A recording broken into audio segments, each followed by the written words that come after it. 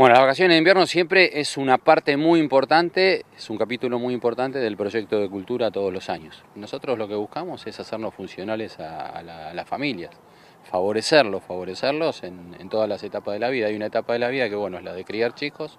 Si tenés esa suerte, en ese momento que es único y irrepetible, bueno, ahí estamos nosotros, en este caso con el proyecto de cultura, donde bueno, ustedes vieron en alguna de las posiciones donde acá en el, en el Museo de Porredón estábamos, mostrando. Este año las vacaciones de invierno son mixtas. Tenemos una fase virtual y una fase presencial.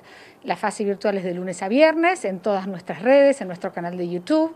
Vacaciones de invierno, temporada de talleres, porque todos los días va a haber un taller diferente que los chicos van a poder participar solos. Hay talleres de todo tipo, hay talleres que proponen nuestros artistas locales, son todos muy interesantes y son en vivo, o sea que uno puede participar del chat. Y otros talleres que proponen los museos, que uno puede descargarlos, tienen día de estreno y a partir de ahí tener, digamos, la actividad libre para hacerla. Pero al mismo tiempo, los tres museos, el Museo del Juguete, este museo y el Museo de Carvarela, tienen actividades de fin de semana relacionadas con esos temas que tratan en esos talleres. Este año en el museo estamos reflexionando sobre el agua. Acá hay un aljibe, hay un jahuel y también hay el rastro de un molino que, está, que ha vuelto a aparecer.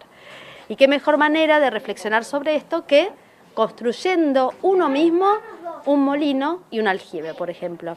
Además, como siempre, tenemos eh, perdidos, en el, eh, perdidos en el Museo, que es una actividad que a los chicos les encanta, que tiene que ver con que los chicos recorran la colección buscando pequeños detalles y en esos detalles van identificando partes de nuestra colección.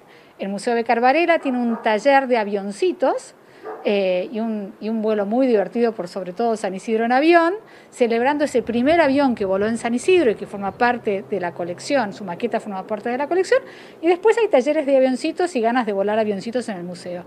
Y el Museo del Juguete, que por supuesto es nuestro museo más querido en vacaciones de invierno, eh, uno puede ir directamente a jugar sábados y domingos, tiene un kit para jugar y para devolver y para estar con la gente del museo, todo al aire libre, con toda la situación de seguridad eh, eh, por la pandemia. Toda esta información está en nuestra web cultura.sanisidro.gov.ar y nos pueden seguir en nuestras redes sociales en arroba o en San Isidro Cultura en Facebook y hay muchísima información. Me encanta venir porque uno eh, aprende de historia, más que nada con la familia y además porque vengo cerca, porque vivo cerca y quiero disfrutar todo lo que tiene San Isidro.